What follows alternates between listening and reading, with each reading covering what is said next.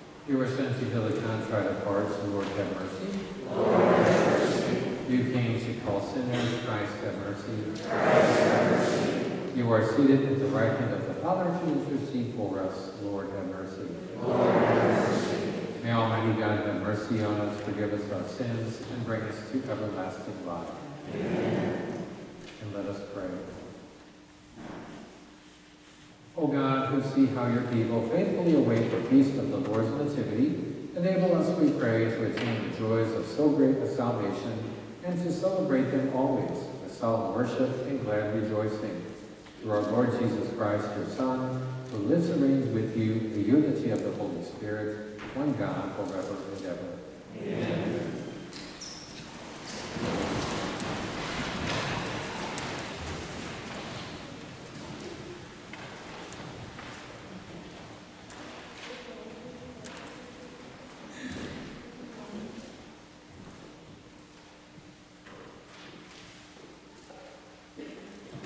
A reading from the book of the prophet Isaiah.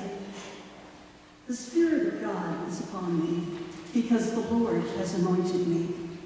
He has sent me to bring glad tidings to the poor, to heal the brokenhearted, to proclaim liberty to the captives and release to the prisoners, to announce a year of favor from the Lord and a day of vindication by our God.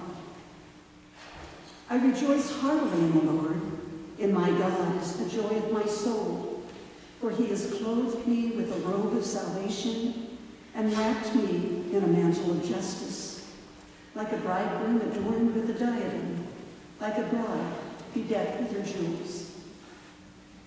As the earth brings forth its plants, and a garden makes its growth spring up, so will the Lord God make justice and praise spring up before all the nations. The word of the Lord.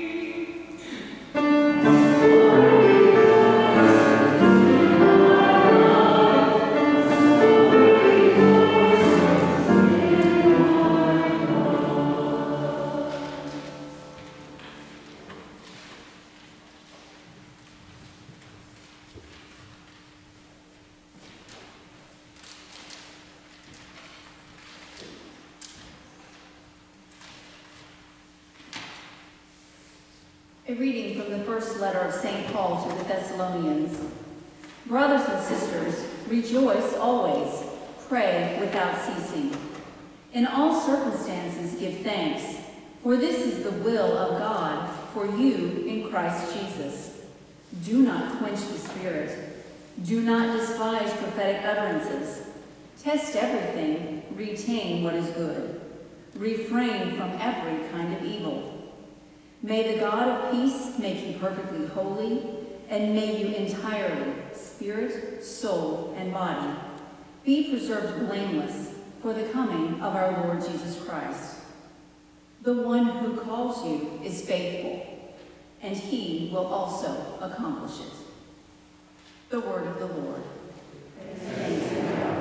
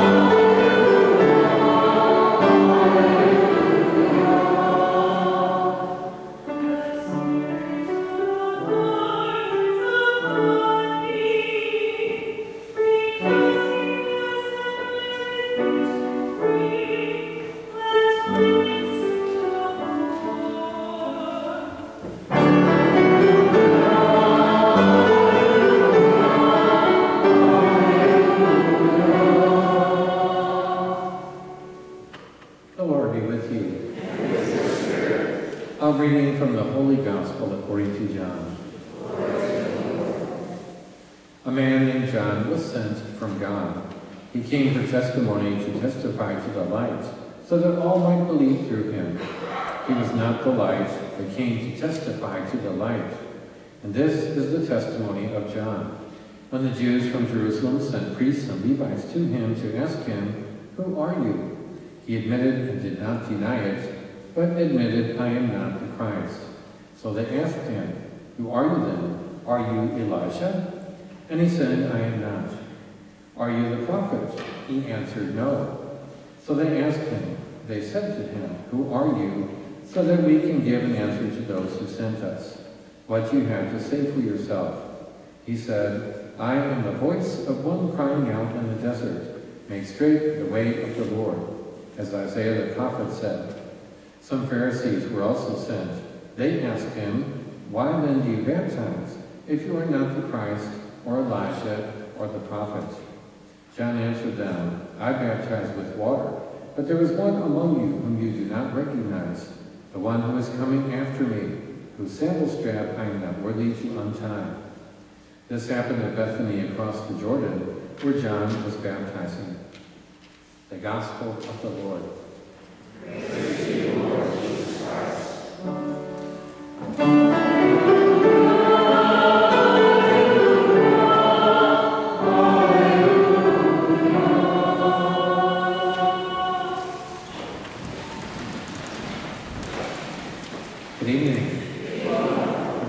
welcome.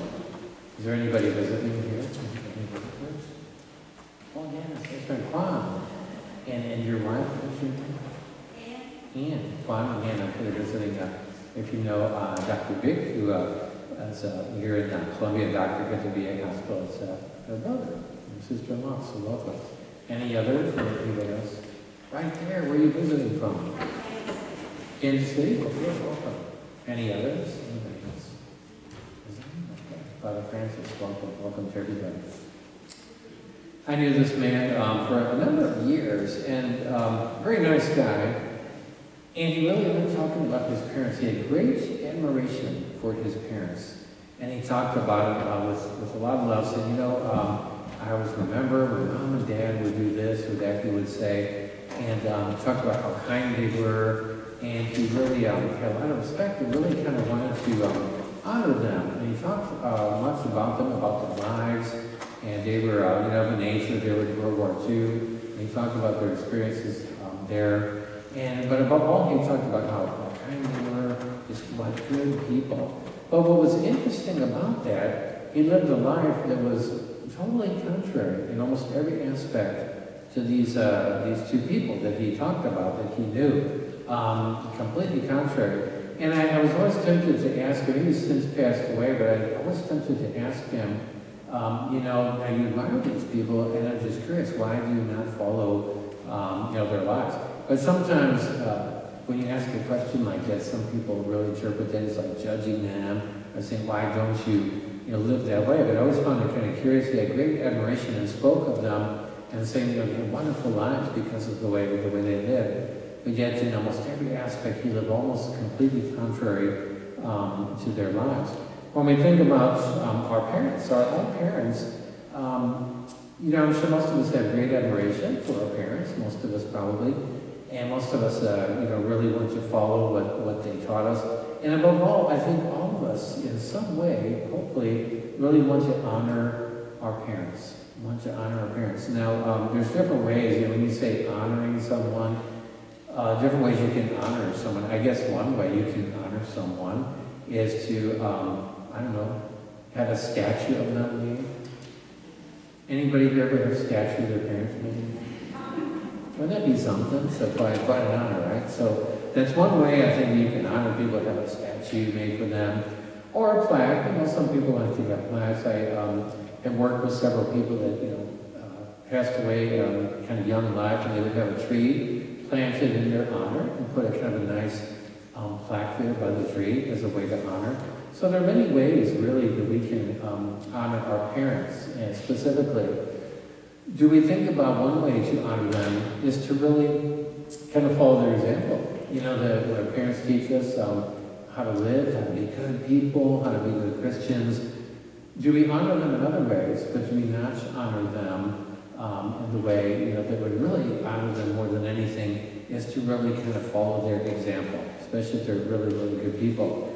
As um, Abigail mentioned it before, um, as we uh, celebrate several things today, um, Gaudete, Sunday, as she, as she explained, um, rejoice, in the entrance antiphon, um, rejoice in the Lord. But also something, she also mentioned, we celebrate the Feast of Our Lady of Guadalupe.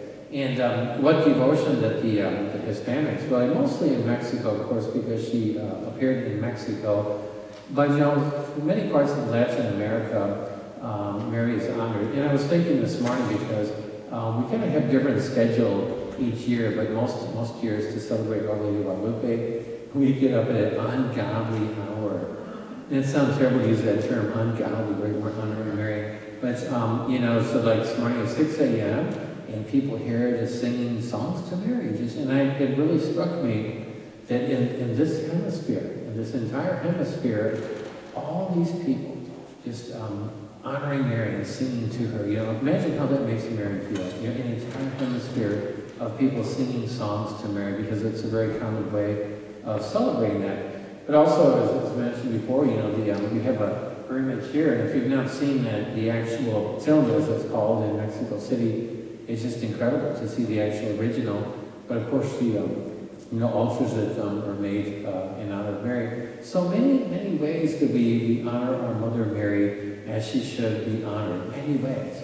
But again, there's a question I ask with our parents: Do we sing songs to Mary? Do we um, you know have banners? Do we build um, whole altars for her to honor her? But yet, do we do we follow her example? Do we follow the example of Mary? And so I'm just thinking, you know, if we do all these things to honor uh, Mary, um, but yet we don't really follow her example in our lives, you know, um, are we really completely honoring her? I know that um, we, our parents, even when we're little, little kids, you know, we don't understand why our parents teach us to do things, why they make us do things, why they don't let us do other things, right? But they're doing that because they, they love us. Our parents do that and they care about us. We don't understand that we're little kids, right?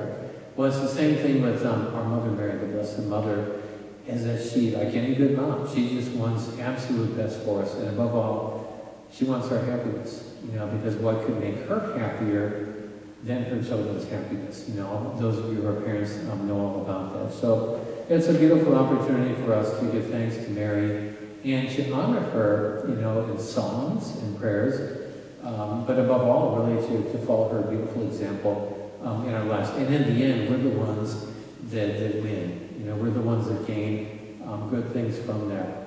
The, uh, the readings today really talk about this uh, Gaudete. Really, it means rejoice and follows that, but also the, as some people call pink rose vestments. We're supposed to call them rose vestments now. Well, what's wrong with pink? There's nothing wrong with pink. Pink is a very beautiful color. But it's really, um, you know, called rose because you know, this and also in, in Lent, uh, Laetare Sunday, really kind of the same idea that during this time it's a sign of hope as we see um, plants blossom. You know, they usually don't in the winter time, although that's part of the miracle of the apparition of the Blessed Mother in, in, uh, in Mexico City because of the, the roses blooming at the time of they should not bloom. But it really kind of represents a, um, you know, hope in the time of the, the cold of winter and the coming, um, coming of Christ but also not just every year, but really in, in eternity, because um, as, as we hear in the Gospel today of John, John the Baptist, we hear about that again, the voice of one crying in the desert. You know, so imagine beautiful flowers in the desert, all the darkness um, and starkness and dryness to life. So there's really kind of what this all is all about. So let us rejoice. And of course, of all the years, you know, it's easy for us to despair, you know, with everything going on. I won't go through, you all know the list, all the crazy stuff going on that we've seen this year. So above all, this is a beautiful time for us to not despair, but to rejoice in the Lord and really um, always believe in his promises, his goodness. And again, let us um, give thanks to the, the Blessed Mother for appearing to us and caring for us, and let us honor her by following her beautiful example.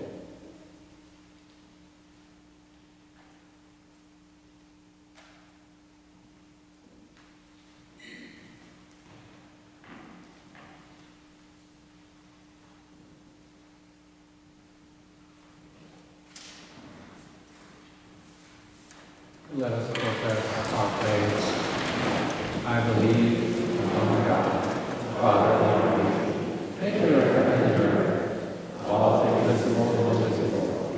I believe in one Lord Jesus Christ, the only begotten Son of God, born of the Father before all ages, God from God, light from light, true God from true God, begotten not made, consubstantial with the Father, through him all things were made. For us and for our salvation, he came down from heaven. By the Holy Spirit, was incarnate of the Virgin Mary, and became man. For our sins, crucified on the Pontius Pilate, he suffered death and was buried, and rose again on the third day, in accordance with the Scriptures. He ascended into heaven, and is seated at the right hand of the Father. He will come again in glory to judge the living and the dead, and his kingdom will have no end. I believe in the Holy Spirit, the Lord who is our guide, who proceeds from the Father and Son, who with the Father and Son is the Lord and glorified, who has spoken to the prophets. I believe in one holy Catholic and Apostolic Church. I confess one baptism for the forgiveness of sins, and I look forward to the resurrection of the dead and the life of the world. And let us now, with faith and with confidence, lift up our needs in prayer to God our Father. The response to our intercessions is, Come into our hearts, Lord Jesus. Come into our hearts, Lord Jesus. For the church, may we bring joy to others, ease their burdens, and be instruments of hope. We pray, Come into our hearts, Lord Jesus. For peace throughout the world, may God turn hearts from violence and bring forth a new era of justice and peace in every land. We pray, Into our hearts, Lord Jesus. For our country during these winter months, that we may serve the poor and needy in the spirit of Christian charity, we pray, Come into our hearts, Lord Jesus. For a renewal of prayer, may we recognize how God is communicating with us in every moment and allow our words and deeds to be a response to the love shown to us. We pray, Come into our hearts, Lord Jesus. For our members who are ill, may they be comforted by the nearness of God's unfailing presence. We pray, Come into our hearts, Lord Jesus. For the deceased members of our parish family, may those souls and all the souls of the faithful departed find eternal rest in the peace of Christ. We pray, Come into our hearts, Lord Jesus. For these prayers and all the prayers we hold in the silence of our hearts, we pray, Come into our hearts, Lord Jesus. We pray, O Lord our God, that the Virgin Mary, through marriage and to bear God and man and the chaste womb, may come under the curse of your faithful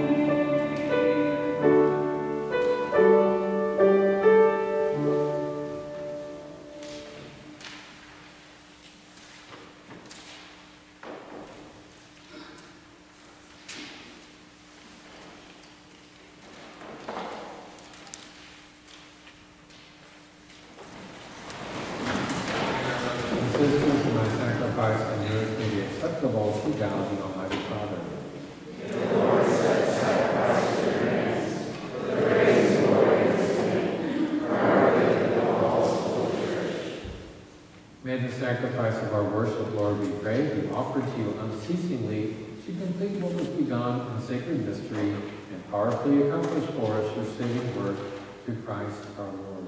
Amen. The Lord be with you. Lift up your hearts. Let us give thanks to the Lord our God. It is truly right and just, our duty and our salvation, always and everywhere, to give you thanks, Lord, Holy Father, Almighty and eternal God, through Christ our Lord. For all the oracles of the prophets foretold him, the Virgin Mother longed for him with love beyond all telling. John the Baptist sang of his coming and proclaimed his presence when he came. It is by his gift that already we rejoice at the mystery of his nativity, so that he may find us watchful in prayer and exultant in his praise. And so with angels and archangels, with thrones and dominions, and with all the hosts and powers of heaven, we sing the hymn of your glory, without end we acclaim.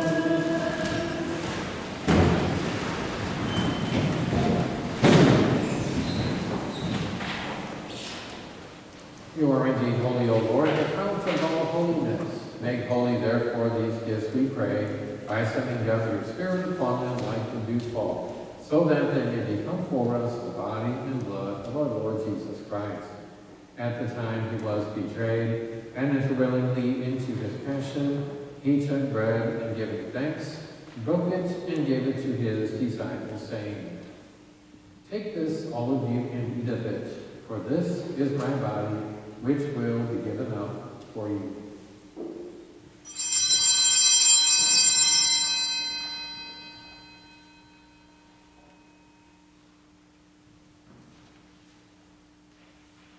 In a similar way, when supper was ended, he took the chalice, and once more giving thanks, he gave it to his disciples, saying, Take this, all of you, and drink from it, for this is the chalice of my blood, the blood of the new and eternal covenant, which will be poured out for you and for many for the forgiveness of sins.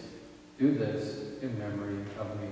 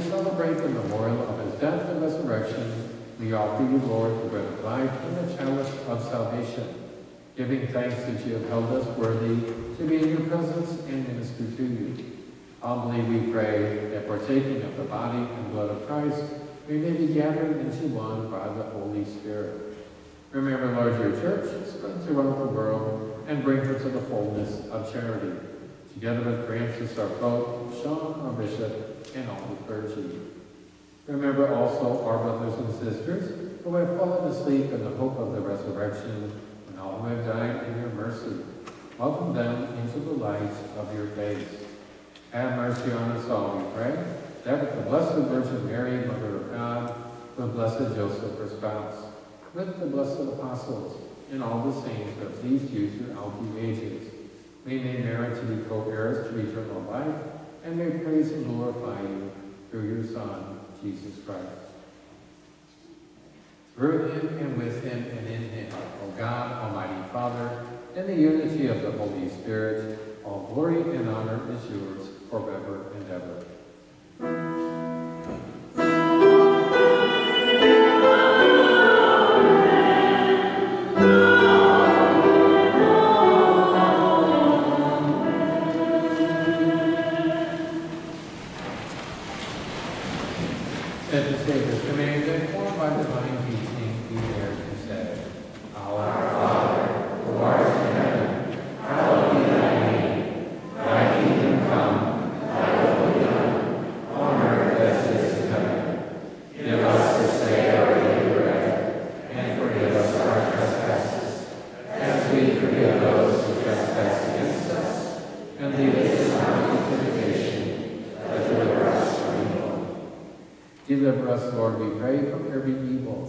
Graciously grant peace in our days, that by the help of your mercy we may be always free from sin and safe from all distress, as we await the blessed hope and the coming of our Savior, Jesus Christ.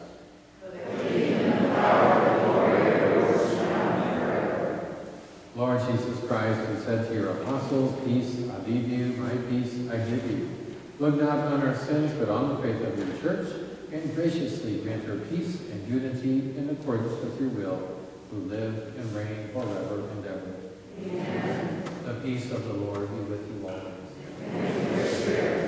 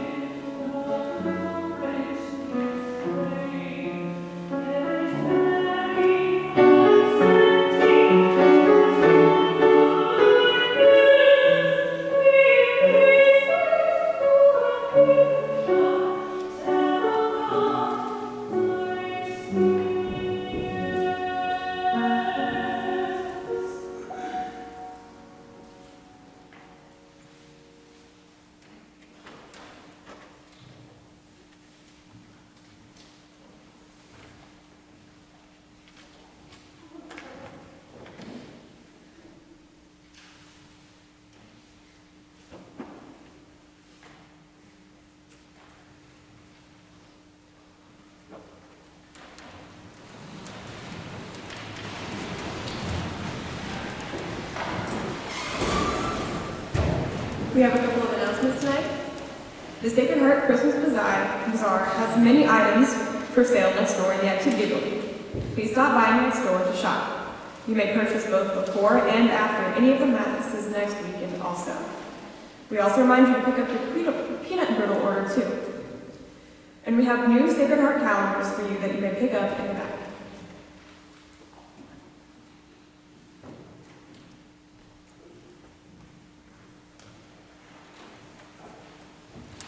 Let us pray.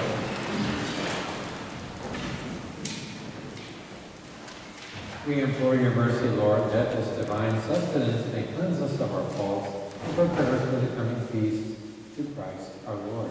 Amen. The Lord be with you. And with your spirit. May Almighty God bless you, the Father, and the Son,